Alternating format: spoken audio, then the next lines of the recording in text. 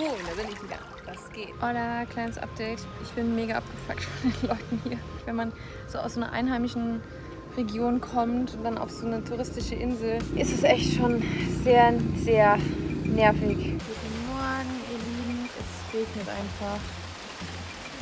Ich bin hier direkt neben so einem Fluss. Bach, sieht ganz cool aus.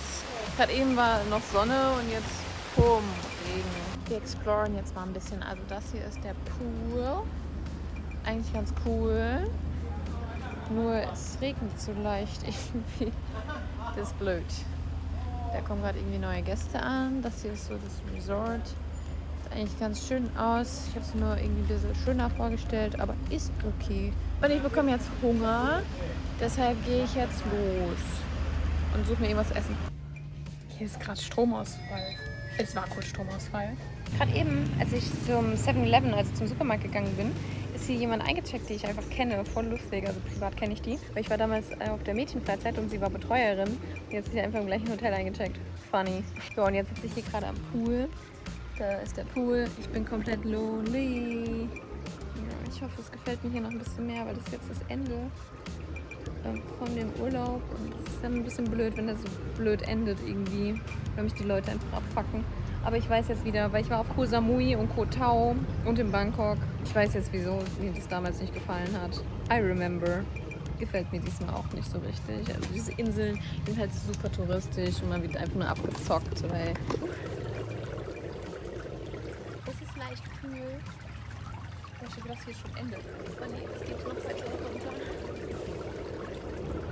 Geht gut weiter runter, ey. Holy moly.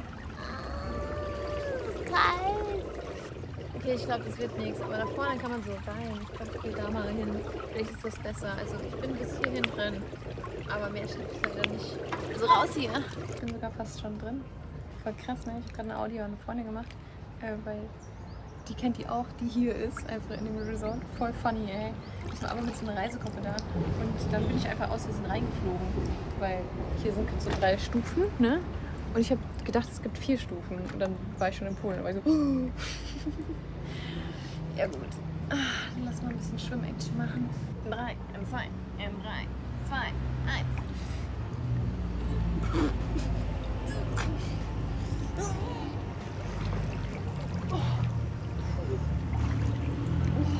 Ich hab's geschafft, Leute.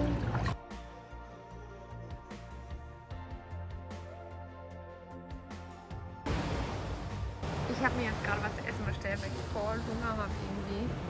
Und so sieht das so aus, das Restaurant. Und es gab einfach Naan auf der Speisekarte, deshalb habe ich natürlich direkt geholt. Naan, Curry, Reis, Kokosnuss und mehr.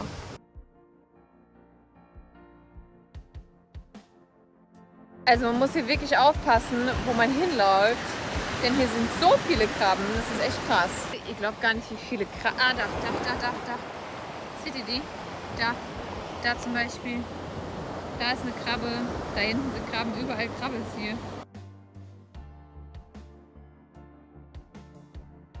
Oh Leute, das ist hier vorher voll schön eigentlich, ne? Voll süß, die Kinder spielen hier. Ist schon echt mega süß.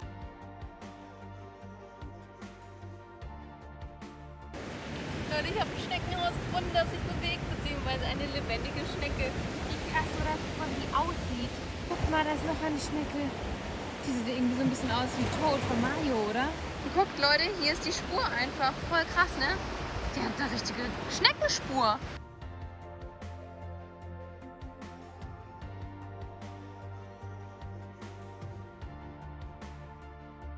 Ich habe hier jetzt einfach gerade ein Minions-Eis gefunden. Das muss ich probieren. Ganz normal vanillig.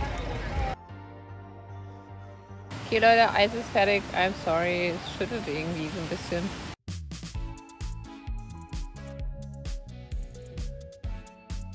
Heute gibt es Buffet. Da ist nichts drin. Das da. Hier geht es weiter mit Toast. Oh, die haben sogar zwei verschiedene Toast. Ist ja cool. Also da vorne hier ist eine Gruppe, deshalb gibt es heute Buffet. Da hatte ich gerade gesessen, da sind aber tausende von Ameisen, deshalb bin ich dann hier hin. Und ähm, ja, das ist meine Ausbeute. Das hier ist jetzt übrigens auch mein neuer Teller. Ich warte auf meinen Toast.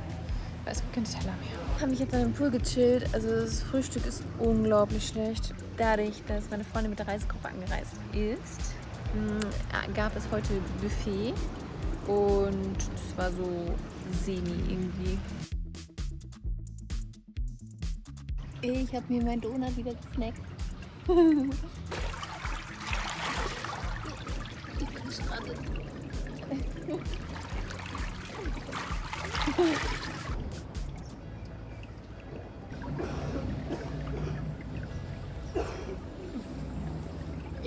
Mit.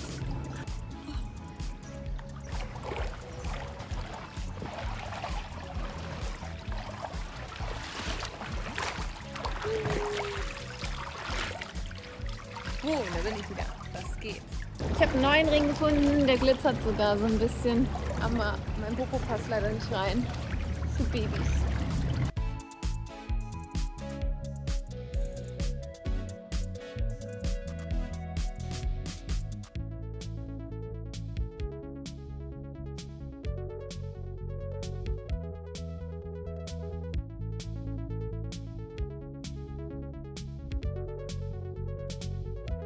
Tollen View. Ich bin jetzt hier gerade in einem Restaurant. Hab mir gerade mir gerade was zu essen bestellt.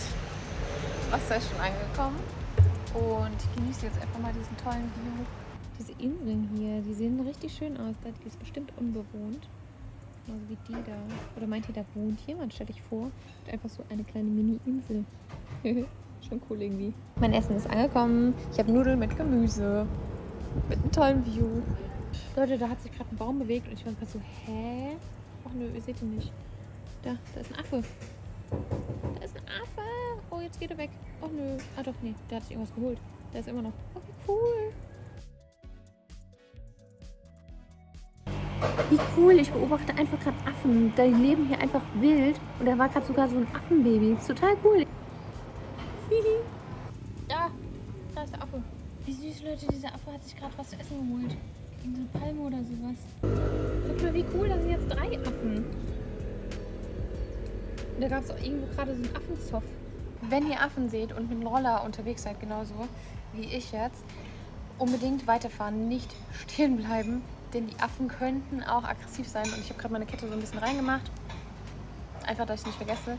Ähm, generell Glitzer und sowas solltet ihr verzichten, weil in Gibraltar war das zumindest so. Ich denke hier, die Affen werden genauso sein. Die gehen auf Schmuck und Essen und alles, was glitzert, mögen sie eigentlich. Die klauen das richtig. Deshalb Infokarte dort oben. Da kommt ihr zu meinem Gibraltar-Vlog. Ich habe jetzt gerade fertig gefuttert und jetzt geht es weiter zur Affenbande sozusagen. Das war richtig, richtig cool, die wilden Affen einfach zu beobachten hier im Restaurant, wenn ich gegessen habe.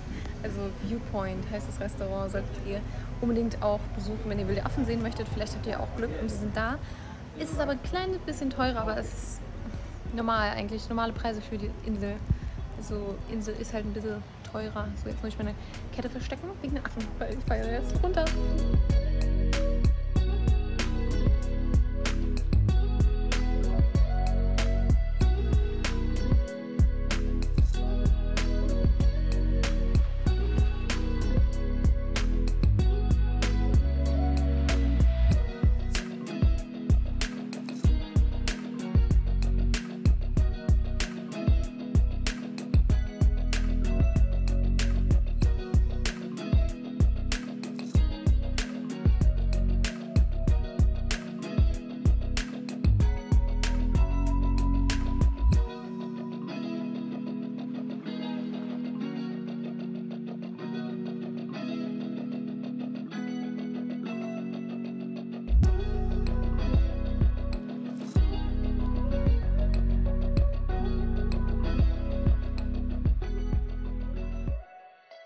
Ich habe Postkarten bekommen. Mega. Hab Briefmarken bekommen und direkt weggeschickt. Also direkt, eure Postkarten sind direkt da. Dankeschön nochmal.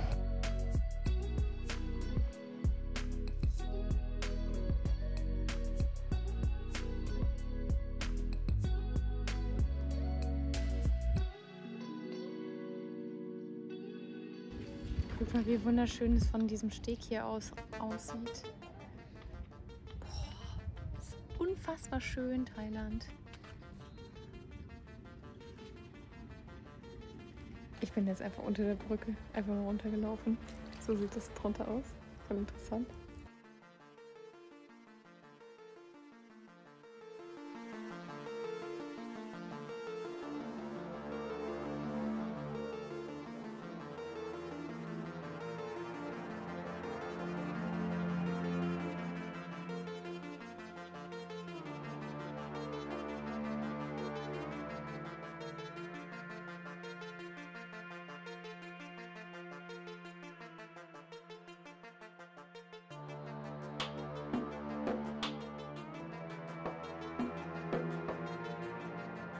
Übrigens, guck mal Leute, das hier ist mein Roller jetzt für die nächsten paar Tage. Und ich hole mir jetzt einen Fruit Shake für 40 Baht.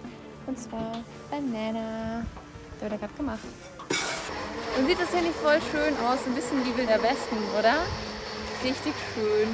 Wenn ihr übrigens auch eine Postkarte haben möchtet, solltet ihr unbedingt mal in den Livestreams vorbeischauen. Besonders bevor ich in den Urlaub fliege.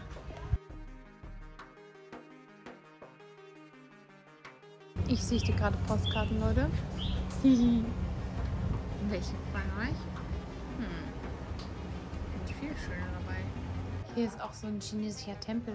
Ich bin jetzt hier gerade in Old Town, hier auf Koh Lanta. Habe hier gerade so einen chinesischen Tempel entdeckt. Und da vorne gibt es nochmal was anderes schönes chinesisches, was ich total krass finde, weil hier sind sehr viele Muslime. Und außerdem, was mir auch aufgefallen ist, heute Morgen konnte ich nicht überhören, um 8 Uhr morgens um 8 Uhr morgens. Entweder es war eine Nationalhymne oder auf voller Lautstärke. Das war schon echt krass. Ich, da, ich bin auf jeden Fall wach danach gewesen. So richtig stand ich im Bett. Oder es war einer von der Moschee, die, ähm, die so Kirchenglocken halt, aber halt von der Moschee, ich bin mir nicht sicher. Denn direkt neben dem Hotel ist so ein Friedhof für Muslime. Ja, habe ich noch nie gesehen. Sieht ganz anders aus als bei uns. Ist auf jeden Fall direkt daneben. Vielleicht ist das auch so ein Zusammenhang, wisst ihr? Das könnte natürlich auch sein. Oder es war die Nationalhymne, ich bin mir nicht sicher. Ist auf jeden Fall um 8 Uhr morgens. Super früh, super laut.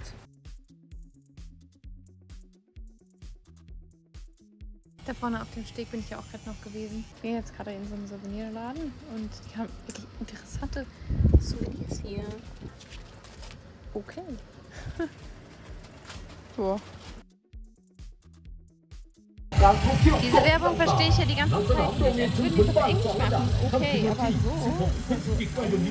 Das war auch schon in Bangkok und überall eigentlich. Es müssten eigentlich, genau. Ich darf sagen, jetzt müsste noch einer kommen und dann kommt noch einer. Es kommen immer drei hintereinander. Ich verstehe es nicht. Da, und da kommt schon der dritte. Da kommt der dritte, wie ich es euch gesagt habe. So, jetzt wird das Teil getankt. Kann gar nicht viel reingehen, weil guck mal, das ist nicht vorne, da ist gar nicht Platz. Das ist Tank, oder? Also Leute, ich zeige euch mal, wo wir waren. Wir sind hier irgendwo losgefahren, sind hier so rüber und waren hier Old Town. Und dann sind wir wieder zurück. Kulanta. Jetzt geht's in 7-Eleven. Ich bin jetzt bei der Thai-Massage. Oh, krass, die Massage macht einfach auch so Haar-Extensions und so Nägel. Wie krass. Bald ist Sonnenuntergang, sieht voll schön aus, oder? So, jetzt geht's zum Sunset. Ich freue mich. Da ist der Sonnenuntergang. Beziehungsweise der kommt jetzt noch. Richtig, richtig schön.